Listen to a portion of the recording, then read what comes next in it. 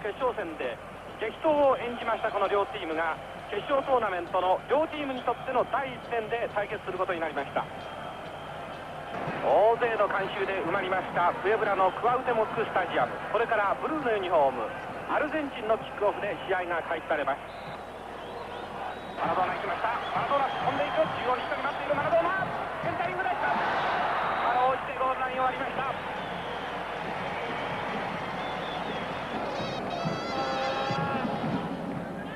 前半の10分を経過。両チームまだ得点はありません。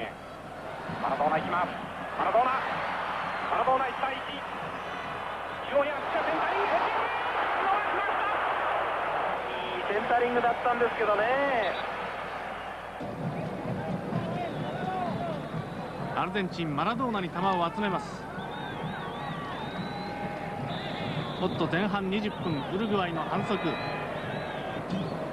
ッカーはマラドーナ。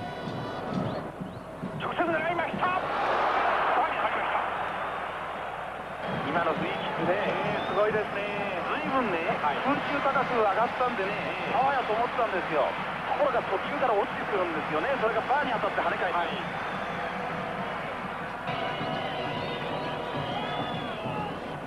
時間が少なくなってきました前半。マラドーナ。マラドーナ抜けるか。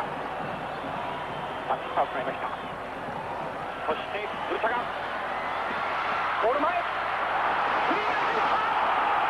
17番パスイのシュート。前半の41分。この攻撃の起点はマラドーナから始まっていました。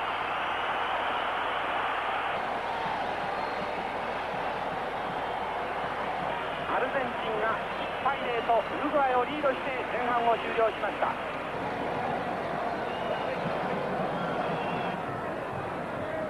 後半に入ってマラドーナのマークが厳しくなります。ご覧ください。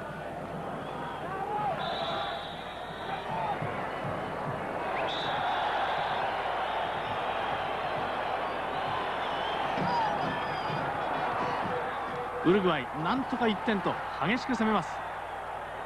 何度も欲しいチャンスを逃しているウルグアイ。ボールを高に送りましたフォローしてシュートしたかわした後のフォロー飛んだ今のはこれキーパーの顔にいったんじゃないですか？ええ